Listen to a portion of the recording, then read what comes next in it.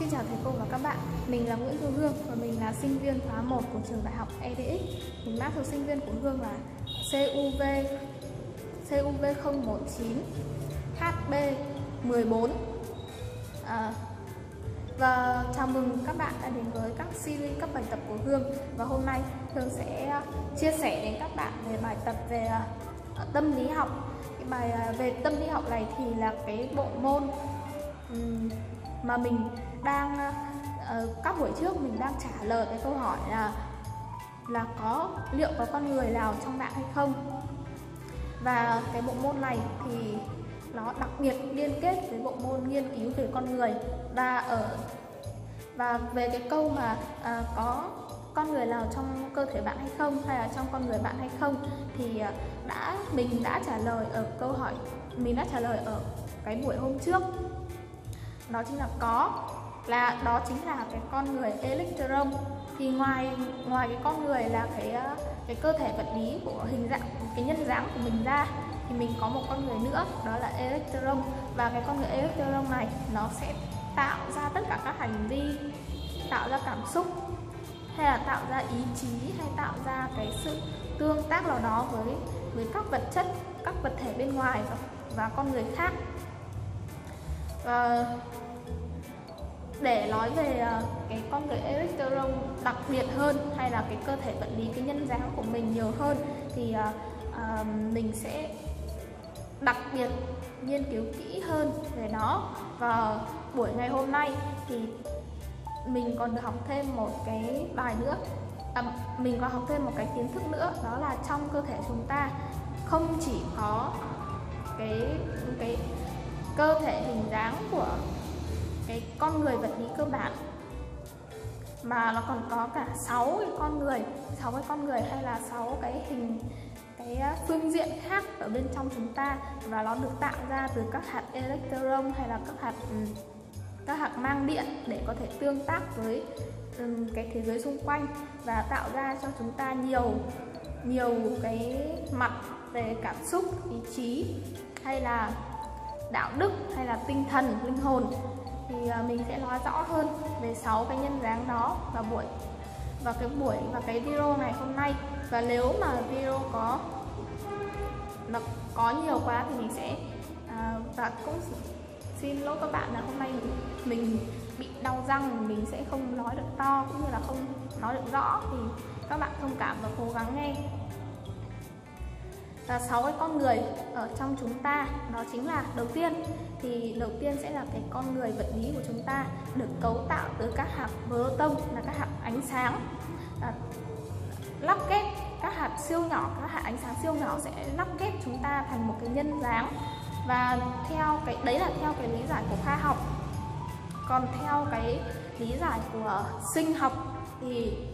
cơ thể của chúng ta cơ thể vật lý của chúng ta thì được cấu lên từ các từ nội tạng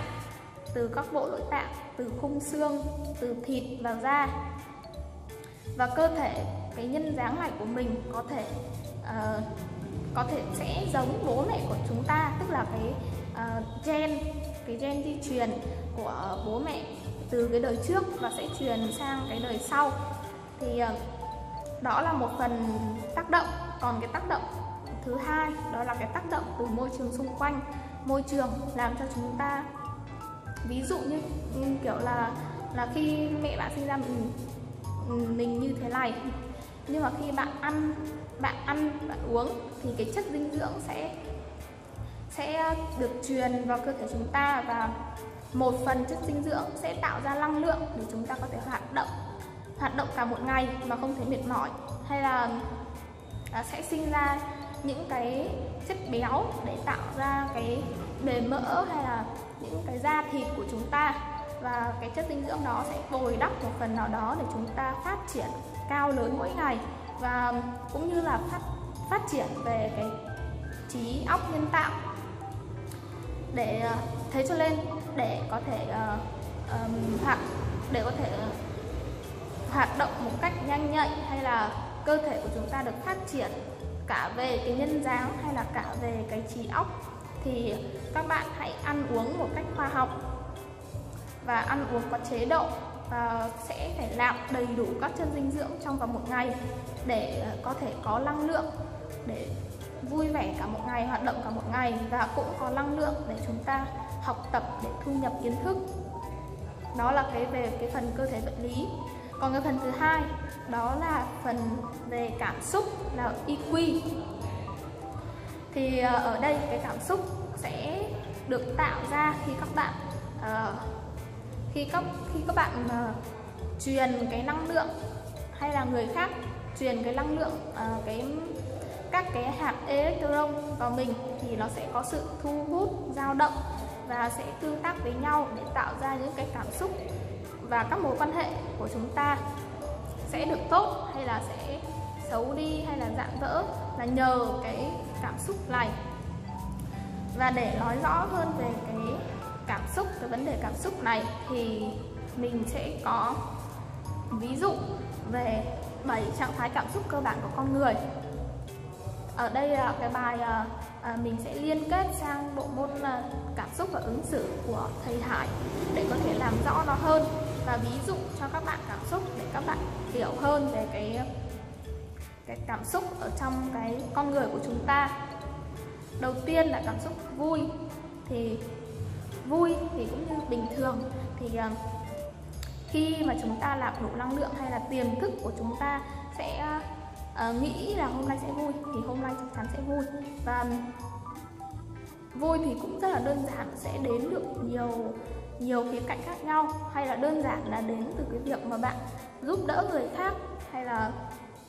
đơn giản là bạn nhìn thấy họ vui thì mình cũng thấy vui. Thì cái cảm xúc vui này nó khác với cảm xúc hạnh phúc. Ở đây là hạnh phúc hạnh phúc ở đây sẽ là hạnh phúc tột cùng. Còn vui này chỉ là biểu hiện trên gương mặt gương, gương mặt và một chút cảm xúc ở bên trong. Thì khi mà bạn vui thì bạn sẽ cười đúng không ạ? Thì đó là cái cảm xúc vui. Và thứ hai là cảm xúc buồn. Cảm xúc buồn thì ờ, cũng là cái cảm xúc mà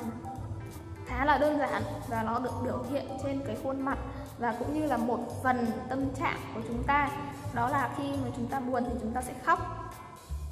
Và một vài cái cảm xúc khác mình sẽ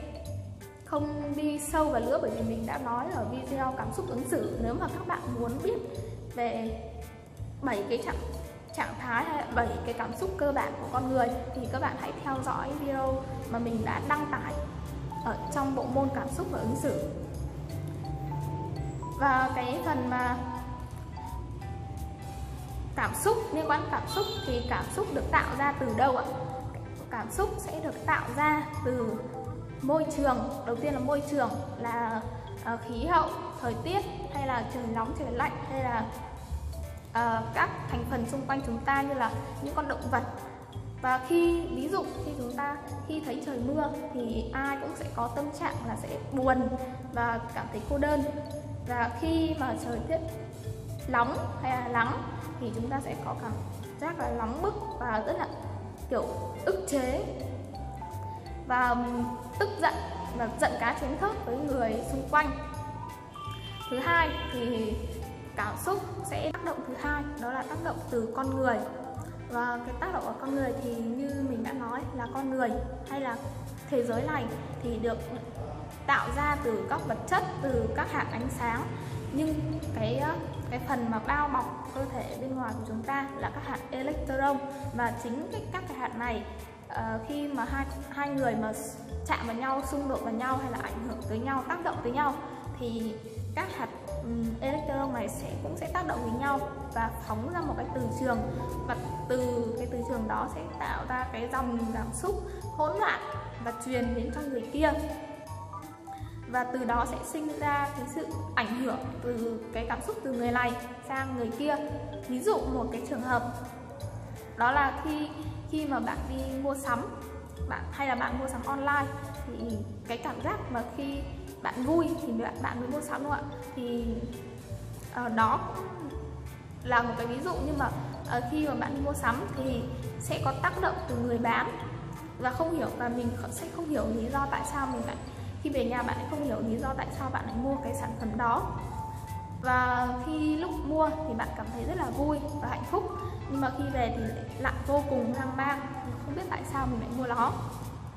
Và một cái phần nữa là một một cái phần vô cùng quan trọng ở trong cái phần cảm xúc bên trong cơ, cơ thể con người là một cái con người cảm xúc thì uh, có những người sẽ uh, có những cái trí tuệ cảm xúc và trí tuệ cảm xúc ở đây tức là ừ, những con người mà có trí tuệ cảm xúc thì là một người có cảm xúc thông minh và họ sẽ tự hiểu mình và uh, sẽ ừ, tự hiểu là mình sẽ đem lại cái cảm xúc gì cho người khác và từ cái đó thì sẽ có những cái, ví dụ như là họ sẽ làm chủ được hành vi của mình để không tức giận quá và tạo ra những cái xung đột không đáng có. Và thứ hai là họ sẽ nhiệt huyết. Nhiệt huyết ở đây tức là họ chủ động trong mọi cái cảm xúc của mình và họ đem đến cái sự vui vẻ cái sự hạnh phúc đến cho người khác. Và tiếp theo là họ có sự thông cảm đối với cảm xúc của người khác. Tức là khi họ lắng nghe cảm xúc của người khác thì họ sẽ không phán xét hay là không ờ, không đánh giá cái cảm xúc của người khác và thay vào đó thì họ sẽ không có những cái phát ngôn để làm tổn thương đến người đối phương. Và cuối cùng cũng là cái quan trọng nhất trong trí tuệ, cảm cảm xúc trí tuệ, đó là khả năng ứng biến tình huống linh hoạt. Đó, họ họ là người có làm chủ được hành vi và họ là người làm chủ được cảm xúc của mình và họ sẽ có khả năng ứng biến linh hoạt từ đó họ sẽ lấy lòng được tất cả mọi người và tạo dựng được các mối quan hệ uh, tốt đẹp để có thể để có thể tiếp bước trên cái con đường của họ đã chọn. Và trên đây là là hai cái lĩnh vực mà mình nói về cái phần tâm lý học là hai cái con người đó là con người cơ thể vật lý và con người cảm xúc. Thì những cái con người sau thì mình sẽ nói kỹ hơn về cái video sau và mong rằng là cái video sau thì mình sẽ truyền tải được nhiều ý nghĩa hơn. Và cảm ơn các bạn đã, đã lắng nghe cái hết cái video này của mình.